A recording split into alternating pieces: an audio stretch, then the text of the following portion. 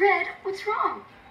Peter Piper is really mad at me for eating one of his peppers. What should I do? Hmm. This sounds like a super big problem. And a super